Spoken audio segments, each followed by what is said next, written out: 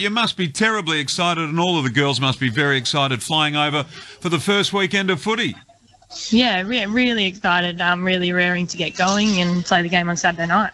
How long's the game? Baz says 18 minutes quarter, is that right?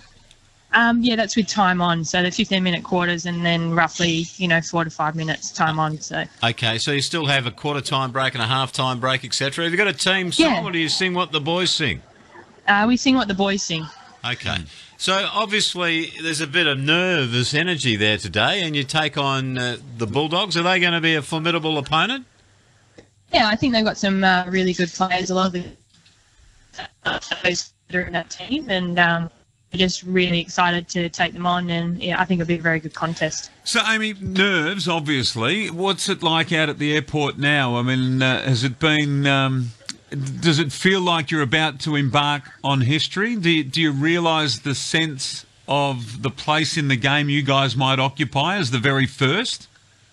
Yeah, I think it's starting to sink in. I think it really sunk in that training last night um, that we were heading over to Melbourne and as a team, and um, there's a bit of a buzz around this morning, and yeah, we're really excited. A lot of people are wondering what sort of involvement Ross Lyon and uh, others from the male team have had. What what sort of impact or involvement have they had with your pre-season and your planning?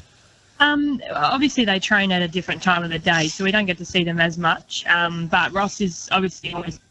He um, had a chat to us earlier in the pre-season, and uh, the boys got around us with our jumper presentation. So um, yeah, really exciting. I understand Shaun McManus spoke to you guys and uh, and spoke very very well. What were what were his messages to you? Um, he just was. It was really important for him to wear the jumper every day, every game that he played, and he just said as soon as we got that jumper, just to really know the significance of playing in in a Freo jumper, and just to take everything as it comes and play hard, play relentless footy. Now, who's on your coaching panel? I know one of ours is Paul Hasleby. Who else is there? Uh, we obviously got Craig Thompson, who's our defensive coach, um, and then uh, Wilbur Tony Walters, who uh, is our forwards coach as well, and then we've got Martine Pierman, who helps out with our backline. Michelle Cowan's the head coach. Obviously, she's had great success. She's been with Melbourne and she's very very well regarded. We were just talking earlier before you came on. So does Michelle say to you guys, "Come on, you need to man up," or does the termin- has the terminology changed because of the male female the the obvious? Um, I think our structures are a little bit different. So um, we tend to really focus on being hard at the footy and um, sort of the same terminology. We just like to get in there and have a good scrap. That's correct. Uh, who are some of the players we'll fall in love with? Some of the characters in your team. Pardon? Who are some of the characters in your team that you think the public will fall in love with?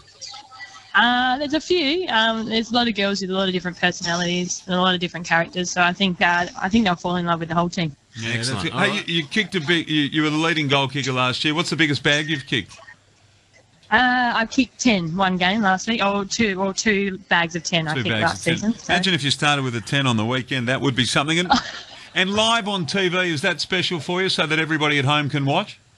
Yeah, it's really, really exciting. We've got a lot, a lot of girls who've got family and friends heading over for the game. So, um, but there's a, definitely a very a lot of hype and um, I had a lot of messages of people encouraging us and looking forward to watching us live on TV. Good luck. It's tomorrow afternoon, 4.40 our time at the Whitten Oval. Uh, good luck, Amy. Let's hope you can bring home the bacon. Yeah, we hope so too. Thank you very much. Good on you, Amy uh, Lavell there.